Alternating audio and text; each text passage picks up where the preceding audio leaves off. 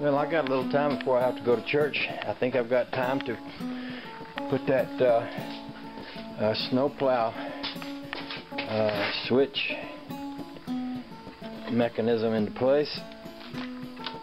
Holy cow. I painted this with 415 yesterday. Somebody told me it would really stick to things. Well, I set it on this bench to dry.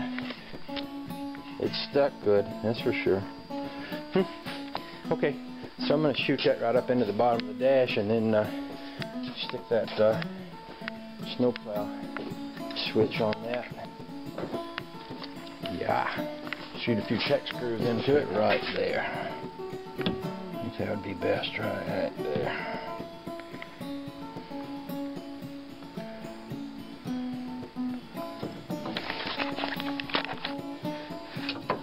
As I'm driving, just kind of be over here working the controls. Okay, I've got this plow switch mounted up here now. So I can easily get in here, get my legs past it, and uh, work my clutch, my brake, interfere with anything, and it's right here. It's very close for me to reach up and just be able to, I've got it locked. This switch pops out, by the way. I don't think it's supposed to, but it does, but it might not be a bad thing in the summertime if you wasn't using that. You just leave it out.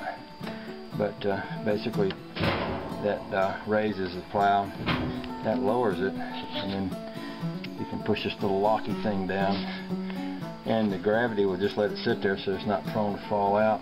And like I say, in the wintertime I could pop this thing out, sit in the dash over there and wouldn't even have it here. So that's pretty cool.